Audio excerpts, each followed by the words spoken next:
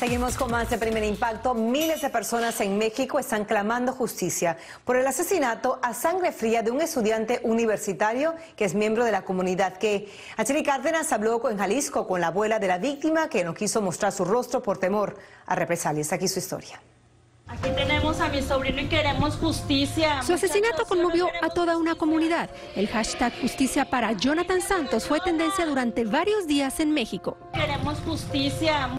A sus 18 años, Jonathan era reconocido por sus compañeros universitarios como un defensor de las preferencias sexuales. Con nadie se metía, nadie, nadie, aquí a nadie le hablaba.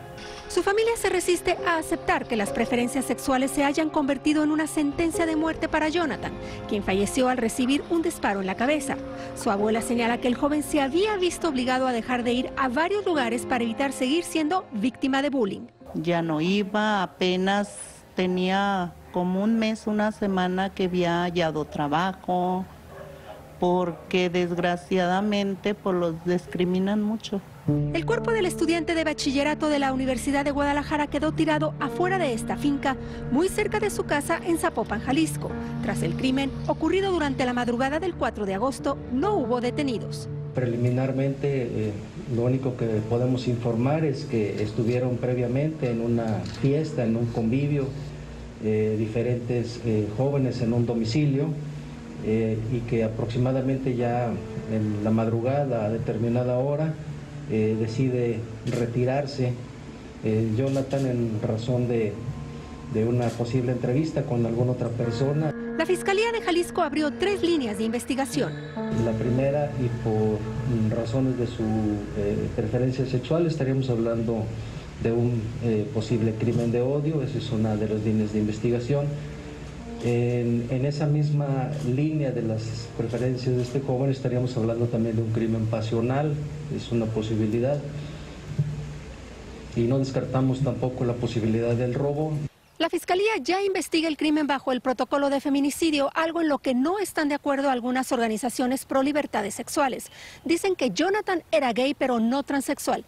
Tampoco están de acuerdo en que se investigue como un crimen pasional cuando este término eh, desde hace muchos años eh, se ha solicitado por defensores de derechos humanos y las compañeras feministas para que se deje de usar, ya que está comprobado que revictimiza, invisibiliza eh, justifica la violencia con la que se cometió el crimen.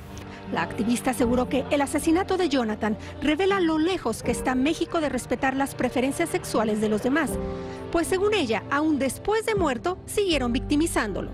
El odio también se vio en redes sociales a raíz de esta noticia eh, y los comentarios eh, sin duda lo volvían a matar. Eh, estos comentarios han demostrado que la, la gran sociedad en la que vivimos detesta y, y aplaude estos eh, horrendos casos de discriminación, de odio. Mientras en el centro estudiantil continúan las manifestaciones de solidaridad de sus compañeros. En la casa de Jonathan honran su memoria mientras esperan que su muerte abra el camino a la tolerancia para con aquellos que simplemente tienen una manera diferente de amar y de vivir la vida. Espero que sí, que todo lo que le pasó pues sea para que los apoyen más y la gente ya no sea tan bestias con ellos.